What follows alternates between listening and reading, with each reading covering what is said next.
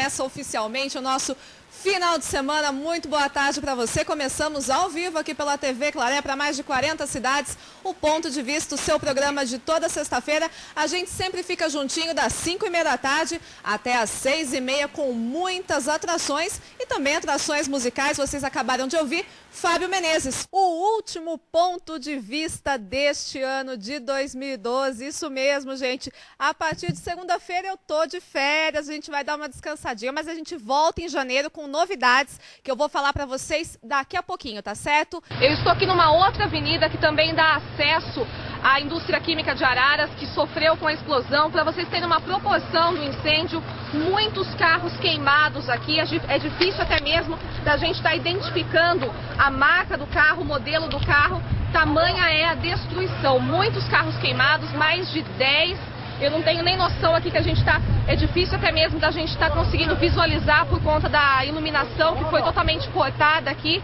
mas o estrago realmente é grande aqui em Araras. Em nossos telejornais, a virada cultural paulista na região Santa Bárbara do Oeste e Piracicaba ofereceram 24 horas de atrações no fim de semana. E Piracicaba registrou um dos maiores públicos do evento. 122 mil pessoas circularam entre as atrações da cidade. Só no show do Titãs, 22 mil pessoas lotaram o Engenho Central. No esporte, é claro, os comentários da final do Paulista. Santos bicampeão. O Peixe fez 2 a 1 no Corinthians e garantiu o 19 título da competição. Você vai rever os gols da decisão e conhecer a classificação final do campeonato. Rio Claro é a primeira cidade do estado de São Paulo com menos de 200 mil habitantes a receber a imunidade do Bom Prato. Aqui, de segunda a sexta-feira, serão servidos 300 cafés da manhã e mil refeições na hora do almoço.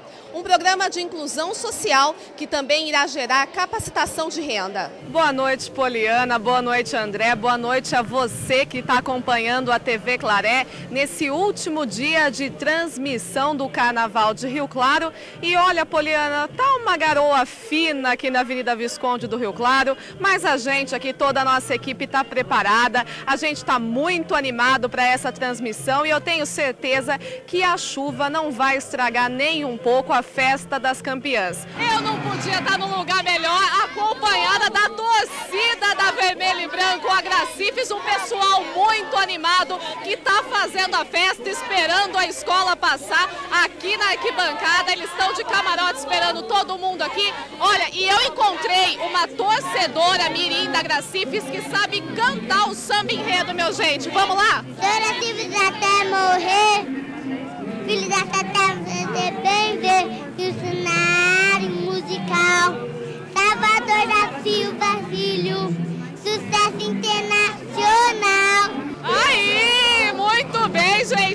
O pessoal tá com a letra do samba enredo na ponta da língua. A gente vai aguardar agora a Gracifes passar por aqui. Olha, Poliana, eu posso dizer que foi uma noite maravilhosa, assim como sábado, domingo. Hoje a Samuca encerrando o desfile, todas as escolas que passaram por aqui. O bloco da geração Y também passou aqui pela passarela do samba, Gracifes, Lada, tá todo mundo comemorando atrás de você. Dá um alô pra eles. Ah, olá, ah, todo mundo aparecer na tela da TV Claré. A TV é Claré que esse ano fez uma transmissão incrível. A Samuca encerrou a participação dela aqui na Avenida, fechando o Carnaval de Rio Claro. E eu também encerro a minha participação.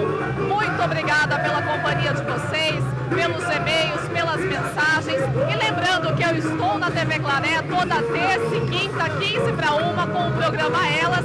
Eu espero vocês. Um beijo grande e até o próximo carnaval. Tchau, gente. Ponto de vista fica por aqui. A gente volta a se encontrar na próxima sexta. Um beijo grande, um ótimo final de semana para todo mundo.